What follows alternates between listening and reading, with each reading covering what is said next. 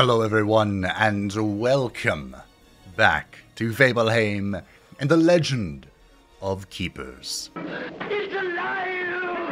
Sorry to keep you waiting. In case you missed the post or didn't know, I have been fighting off the plague.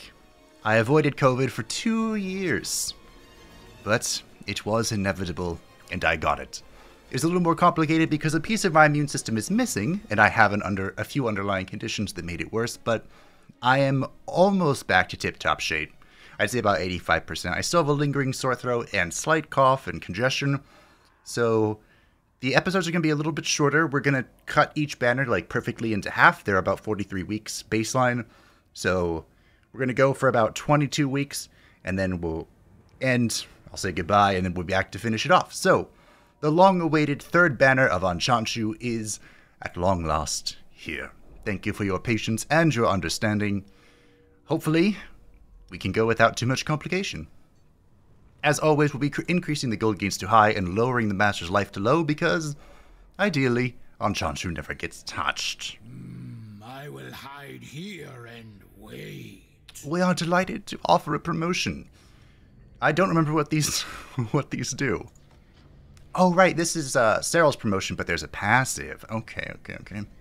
30% chance to also apply their penalties to other heroes. I think this could be really good for this chapter. So we're gonna take it. I do like extreme compression as well though. What does this come with? Fire weakness in the back. Uh, sure, whatever. I'll take the passive. As always, I'm going to take a look at our team, and I'll get back to you with what I think we're going to do. We have the team, most of them we've seen before. I just had to refresh my memory. In the first room, this room is probably going ch- or these rooms are probably going to change, but that's going to wait until once we train. We have the skeleton bull Chad, the suck Lilith, and the giant Ara, Ara Ara. And in the second room, we have Kael'thas, the skeleton magus, Brand, the legend, and of course, the brand new unit, Quaxelcoatl. Of course, a longtime supporter of the channel, thank you. And to everyone else who continues to support the channel despite my random hiatuses, I appreciate you greatly. Now, my theory for how this run is supposed to work, because we also have been given the Pach, oh dear, the thing that activates Solar Blessing. I think what the game wants us to do is burn things and then delete it with Brand. And in order for that to happen, we of course have to upgrade Brand first at the trainer. This consumes stacks of burn and just like he eats and deletes everything. So the perfect combo is of course to have Kael'thas supply of 3 burn and then have Brand delete it. We've seen this and done this before. So um, you know, this isn't entirely exciting, but it's been a while, so we'll see. We of course do we want to have like this sacrificial front room? Because I mean, Chad, Kael'thas, and Brand all kind of go together really well. Well, we'll see what we can find. The R&D manager needs a guinea pig. Uh-oh. He is asking you to provide him with one of your employees in exchange for some gold. I do still wish I could see the map when I'm looking at this, but I think Lilith is going to go away. Goodbye, Suck. Look, there's a merchant there. Perfect. Calculated. By chance, you meet a tamer traveling through the region and looking for some work. The traveler offers to train one of your employees at half price. If you have the right employee in your employ, you could even negotiate for him to work for free. We unfortunately do not have the Black Widow. Uh, is this Grief Weaver? Black Widow, that's what she is. And leveling up Quaxelcoatl for 200 instead of 400 seems like a bargain. So what does good old Quaxelcoatl get at level 2? If Solar Blessing is active when the Quaxelcoatl is about to die, deactivates the blessing and regenerates for 50% of its maximum life. Oh. Congratulations, Quaxelcoatl. You are semi-immortal. Good. Now we are going to need to visit this merchant because we kind of sold one of our characters. Hmm. Level 2 skeleton soldier. Alright. Let's pick up Unhoplite. We need a tank, okay? That's it. That's all. We need a tank. We have found a tank. GG. As with the first fight, I believe it is always a monster. You can correct me if I'm wrong. And I think we're going to try this. The first room is basically sacrificial. And the second room is where the magic happens. So, you know, let us see how this goes. We're, of course, going to do the hardest fight because I may not remember how to play the game, but I ain't scared of no ghost. I feel like they did this on purpose. So our entire strategy is fire, right? Well, most of this team is weak or resilient against fire. So, you know, there's that. Let's apply some fire weakness and make them less resilient against it. Although I don't think that's actually going to come into play here. We have the Onamash, Onamusha leading the line. Of course, dealing fire damage to the front unit, which was randomly moved courtesy of the Enchanter. Honestly, as long as Unhoplite wasn't in the front, it did it it didn't matter to me. He's also going to gain flame shields. Can't be affected by demoralize, but we're not doing that. We have the Enchanter who moved everybody, and I remembered this time that it's only for the first fight. I was very impressed with myself. He's going to hit everyone and apply elemental weakness, uh, double elemental weakness. Great. And we have the Invoker, the character that does, um, you know, both. Fire and Ice. Cannot be affected by penalties dealing damage or morale over time, which is really not good. Also, if we activate the Solar Blessing, that will empower everyone except the Enchanter, which is great. Sorry, did I say great? I meant not great. Ooh. Oh, right. I was gonna say, Ara Ara lived! Uh, but then he didn't. Great. This is going well. Very well. Good, good. This is Unhoplite moving, and I think... What does Unhoplite want to do? I think we want to bleed. Unhoplite does have the benefit of reducing... Oh dear. Reducing uh, damage taken, monsters behind him, but of course he was moved, so that's not a thing that's happening right now. My second trap, or excuse me, my, first trap here is going to activate the Solar Blessing. Well, uh, which is sketchy, but I was kind of just hoping that this would, you know, let us win. We'll see. As far as our spells are concerned, I think we just yeet and delete this guy. That seems like a great idea to me. And when he dies, he'll afflict burn. But of course she cannot be affected by burn, which kind of goes against my entire plan here. Right. I'm sure I'll be fine. We have a disaster here. I guess we do the slow. She can't be affected by frostbite, so there's like literally no point. I'm expecting the enchanter to just fall over, in case that wasn't readily apparent. I'm hoping anyway. He is the only one on the team weak to fire, so this plan is going to be very effective. And I think good old Quaxelcoatl is just going to yeet the... Oh, yeah. Oh. Quack. You glorious beast, you. So yeah, this worked out well. Um, I'm a little concerned that our front line... Uh, sure. That our first room is kind of dying as a glorious sacrifice to the dark gods, but, um... You know, we can overcome that. Hey, look, it's the Grief Weaver. I love this character so much. Doesn't exactly play into our plan, but... Someone mentioned that I was greatly underestimating the effectiveness of the skeleton scientists, Uh, because the enhanced trap is pretty good.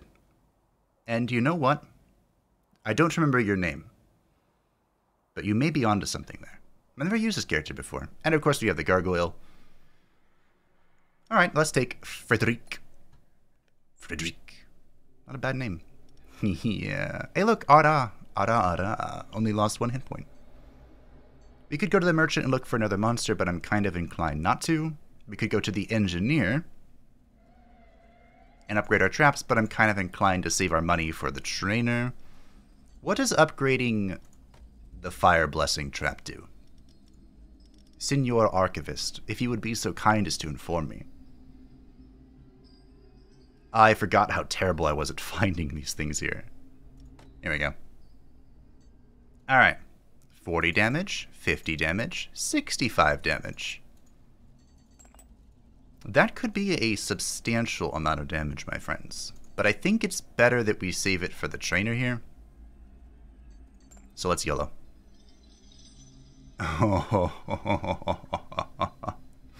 A headhunter is here to show you a promising monster he has spotted on the job market. Do you wish to recruit him? Uh, yes. This is one of my favorite characters. Good old Abaddon. The Infernal Guardian. He also applies fire weakness. Would you like to know how that plays into our strategy? He's also a sub, a phenomenal tank. So let's go to the trainer and see who we can uh, train.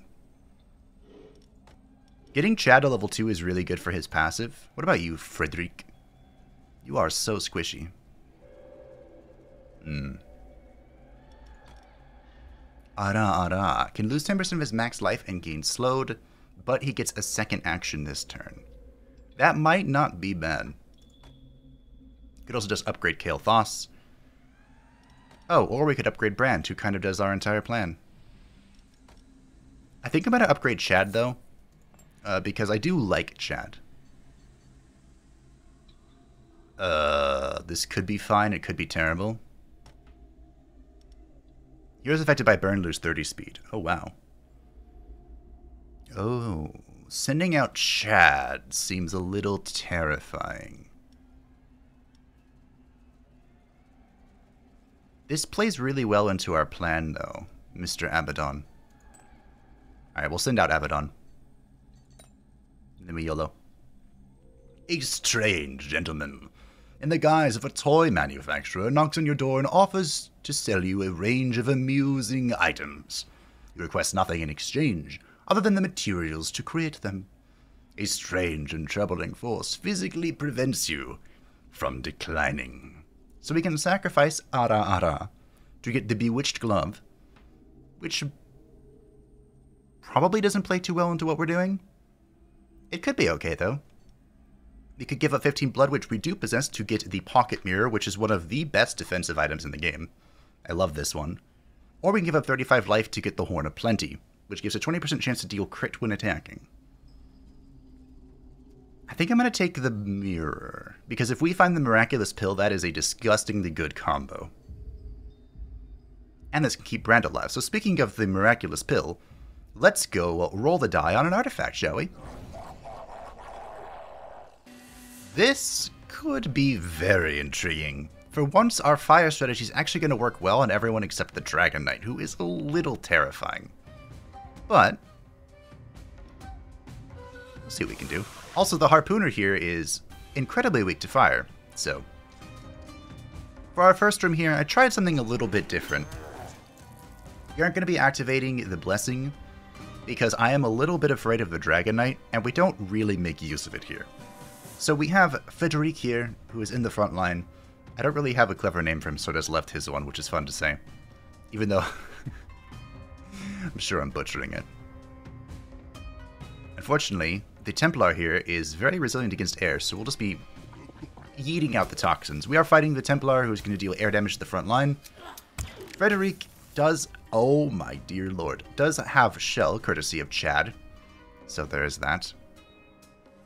But, um, we'll see how, how effective that really is. She's also going to replace one of her penalties with a bonus, but that's fine, we don't care. She also restores morale, but thankfully, uh, we don't care this time. Guess a Flame of Wrath, sure. Get some fire going. The Dragon Knight, who is always terrifying, he is going to go ahead and kill on Hoplite because on Hoplite took a giant harpoon to the face.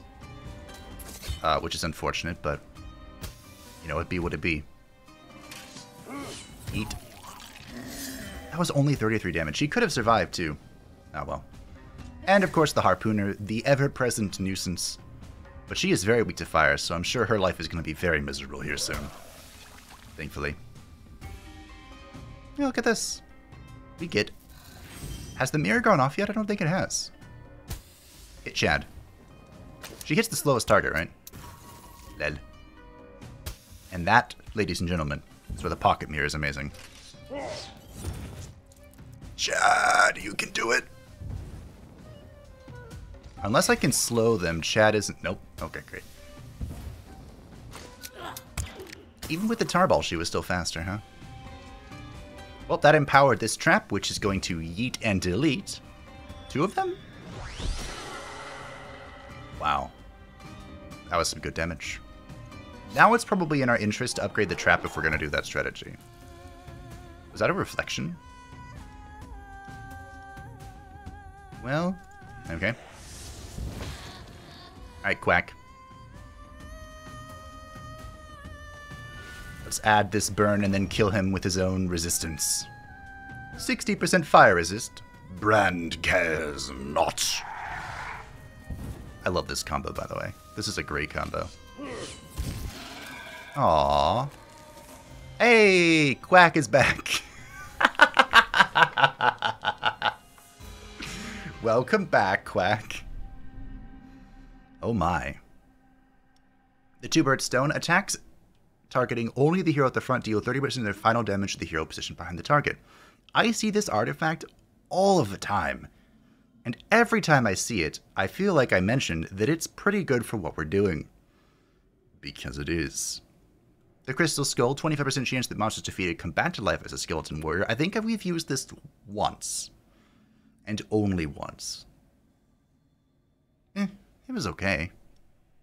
The Obsidian Dagger. Solar Blessing increases bleeding damage dealt to heroes by 100%. Lunar Blessing, monsters definitively gain 5 power when they kill a hero. Wasn't this changed? I feel like it always did what the Lunar Blessing effect is. Now, for the record, this is obscenely good.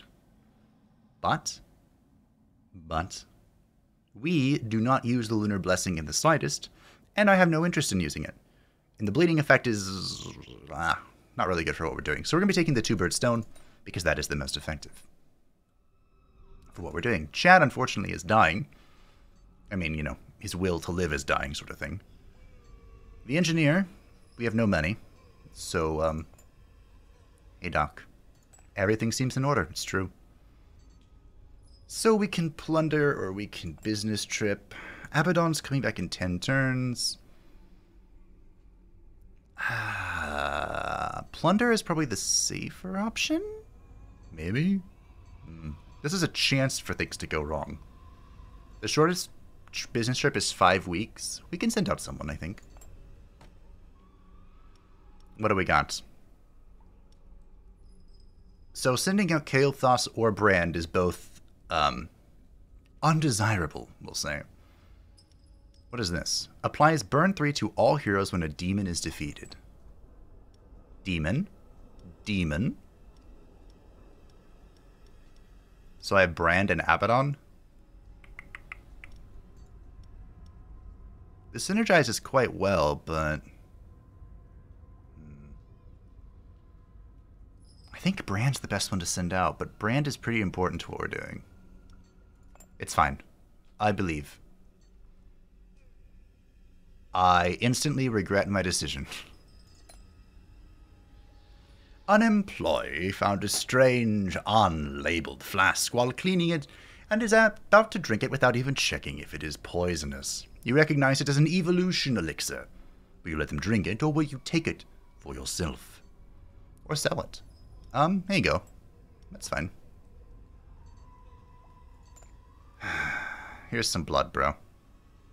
The student-entire vampires are here to collect taxes. However, blood is more valuable than gold coins to them. They could even grant you a monetary compensation in exchange for blood connection, and you would exceptionally be exempted from taxes. We'll pay the blood. It's every drop of blood that we possess, but that's okay. Now, if you were going to ask me if I regret my decision, my answer would be an emphatic I regret everything! I regret everything I've ever done! Not all is lost, just mostly lost. I believe that we can still do this. Probably. We're putting a lot of weight on Quetzalcoatl and Kael'thas, but I mostly sort of kind of believe in them. A necromancer knows much about fate. Would you like me to tell you what it is? Um, I'm concerned. However, however, there is hope. Not much hope, but some hope. Um, it's probably best that I hit this guy. So we're fighting a Concertist, who is, of course, the supreme nuisance. He's gonna apply dodge to someone. If I hit the Herbalist, he's gonna give dodge to her. Which might be okay, actually. Getting rid of her is probably a good idea. We'll do that. I don't know if that was the correct choice, by the way. In the front room, of course. I'm hoping that we can just live a little bit. so the Necromancer is the bane of my existence. Most of the time. She, of course, attacks the back with ice attacks, brings back a dead hero to life as a skeletal warrior, and gains enrage when losing morale. Thankfully, we aren't doing any morale shit today, so that effect is completely ignored. The Herbalist is leading the front line once again. I still have no idea why she always does this, but she'll be attacking the back with nature and applying the elemental weakness, so, you know, there's that. I think if Ara Ara does this, he'll get a he'll actually get a chance to use his second turn because the only thing hitting him is Eduardo. So I'm gonna try this.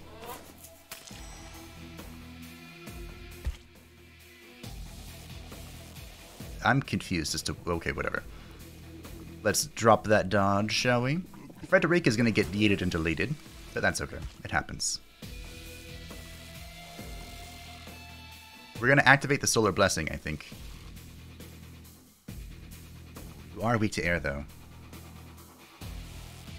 But activating the Solar Blessing here is good. It would only empower Eduardo. And we're probably going to need that. Although, she hasn't gone yet. Uh, yeah. You go twice? Nope. What was the point of Peck then?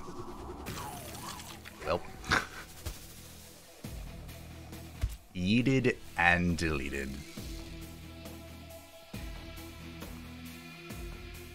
I really want to do Impalement, but I think it's a good idea to try and kill her. Although, of course, she'll come back as a skeleton, but hey.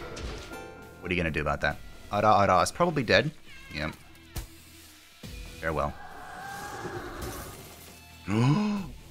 Lives at one and then bleeds out. Okay. Well, our trap is empowered. She healed, but I think the trap is going to do it? Maybe? Oof. Not quite. Now this restores morale, so we're fine. And now we're relying on the A-team here. Of course. This does not work out well.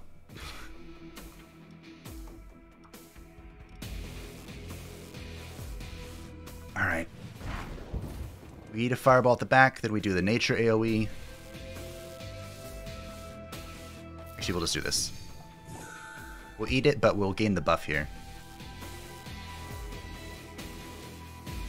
Solar Blessing is active, so this will imply burn. But it's probably in our best interest if we just kill the Concertist. I'm being a little greedy here. We'll see how this goes. We did slow the Concertus, courtesy of the Tarball. Unfortunately, Chad is going to die here.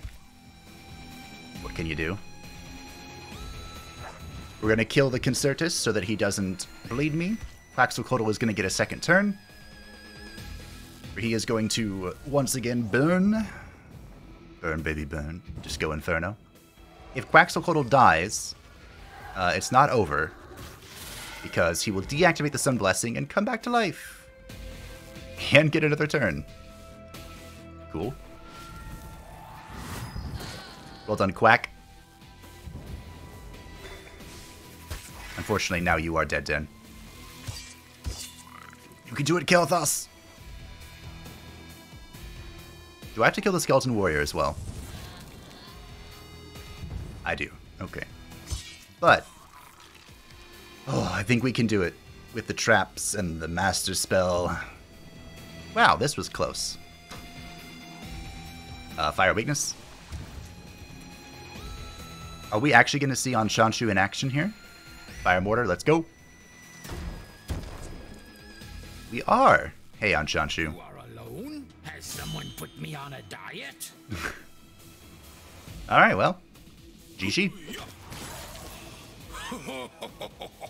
I still feel like Anshanshu has the most powerful attacks of all the Lord's Masters. Monsters placed at the front deal 2% additional damage per missing life percentage.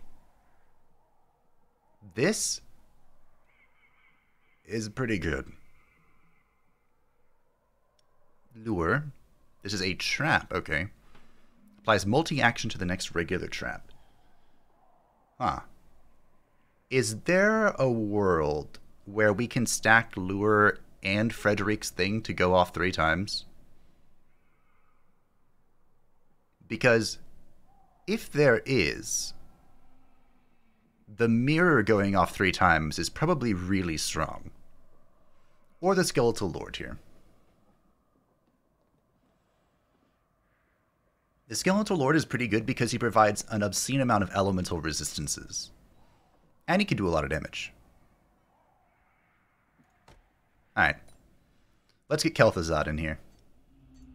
Now, unfortunately, we have a lot of decisions to make. All of them are pretty bad. Let's see. Remove, remove. Oh dear. Is there a, um...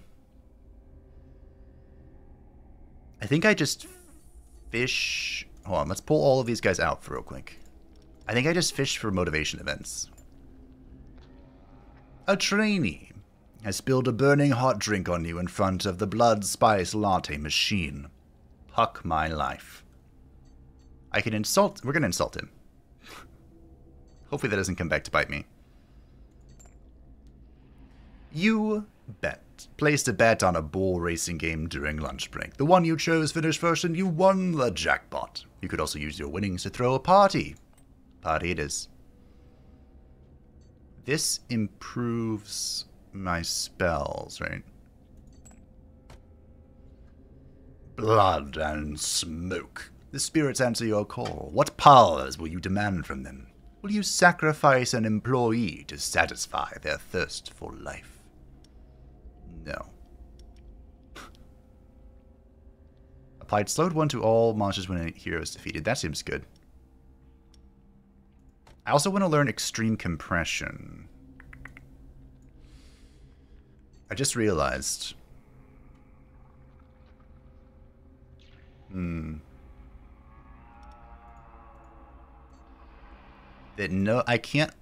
Well, no one's going to level four. Okay, never mind. Let's let's learn extreme compression, shall we? This morale thing could be good too, but um, we'll take the compression. Alrighty, I am a little concerned, but I also want another artifact. you know. So we can put two people away And I think if I had to choose, which of course I do, I don't understand the point of Peck. I really don't.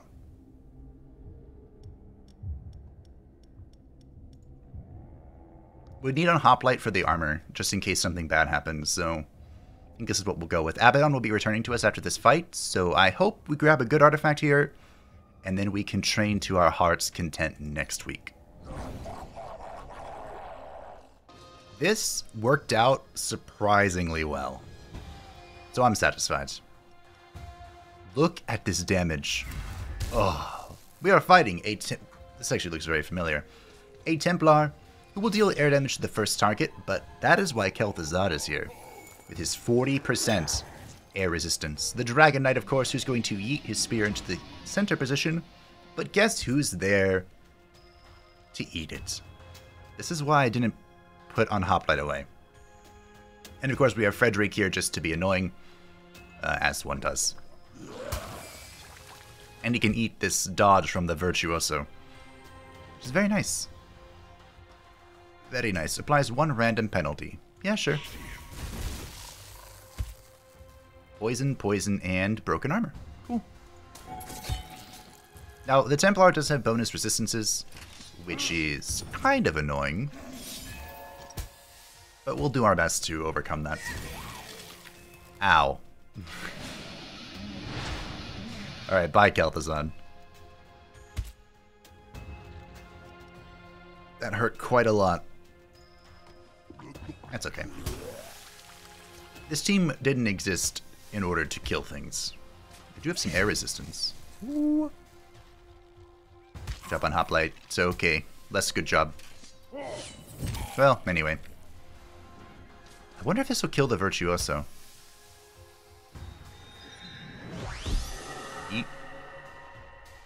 Did that not go off twice? I'm a little confused. Hmm. Anyway. Goodbye. I wonder what happens to the bounty if he dies on that screen. I feel like I've pondered that before and I still don't know the answer. Eh, frostbite or slow. But slow. Let our team here do some work. Now, thankfully, we are going to absolutely yeet and delete this Templar. So that's pretty nifty. Yeet. Ooh, look at that. You are unbelievably dead. Just unbelievably dead. Ah, good, good. Welcome back, Quack. good to see you. Unfortunately, this won't apply burn, but, you know. We're setting up Brand for success. I guess we'll set up the Morning Star. And goodbye. This combo is so good. Alrighty. The Hypnotic Bumblebee. Slowed also reduces hero's power by 30.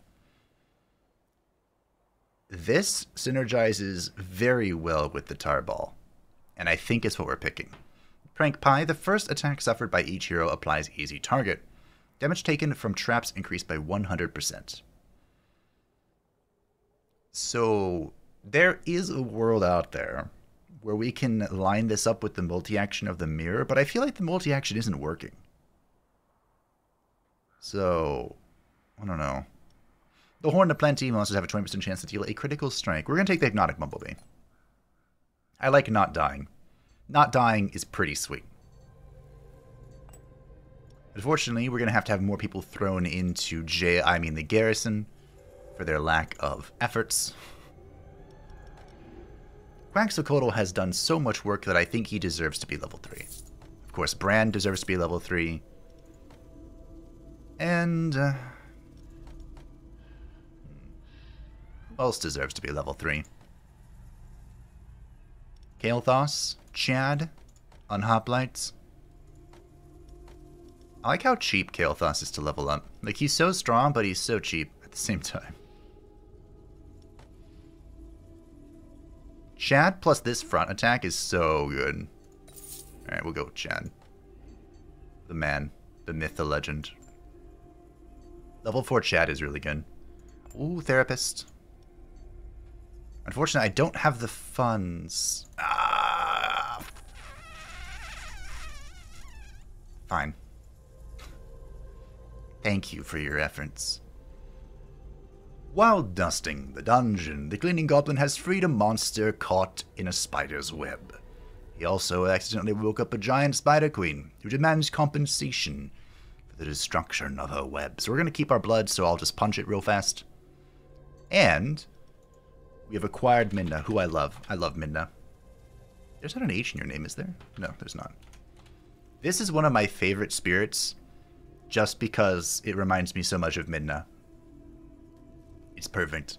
Now, unfortunately, we don't have a whole lot of synergy with Midna. But that's not going to stop me from using her. She's pretty effective, you know?